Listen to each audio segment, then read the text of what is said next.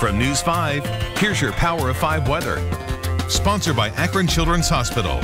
You talk about a gorgeous day out there. Temperatures got close to 50 degrees around the area. We stayed dry and clear. That is slowly going to change. This giant system that has blizzard warnings, tornado warnings further down south, that slowly moves into our part of the area, bringing us some pretty good chances come as early as 5, 6 o'clock tomorrow night. Staying dry until then and staying relatively comfortable as well. Temperatures in those low to mid 30s throughout the overnight hours. Not going to be too bad out there. 34 degrees at 3 a.m. That's going to be close to our overnight low. But guess what? Tomorrow, we're close to that 50 degree mark once again again.